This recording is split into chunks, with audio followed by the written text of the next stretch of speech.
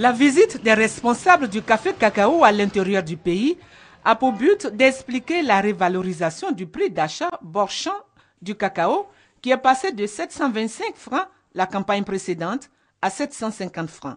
Selon Nguessan Kwasi Edouard, cette hausse de 25 francs a été voulue par le gouvernement ivoirien en harmonie avec sa volonté constante d'améliorer les revenus des producteurs. Nguessan Kwasi a aussi invité les planteurs à poursuivre le combat de la qualité de la production qui a une incidence sur leurs revenus. À Divo, deux préoccupations majeures ont été relevées au cours de la séance de travail. Il s'agit de la prolifération de coopératives agricoles.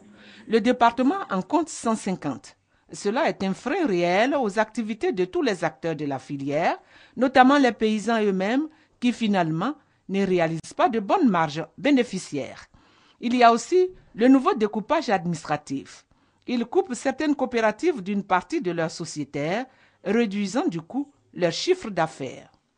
À Gagnois, les mêmes conseils ont été prodigués aux producteurs, à savoir l'amélioration de la qualité du produit. Le procureur du tribunal de Gagnois a aussi rappelé que la répression va être menée dans la filière pour la débarrasser des acteurs indélicats afin de faire profiter aux producteurs du fruit de leur travail. Il a profité pour assurer les coopératives sur les actes uniformes de l'OADA en leur demandant de s'adresser aux structures techniques de l'État outillées en la matière et non à des cabinets véreux qui rusent avec elles.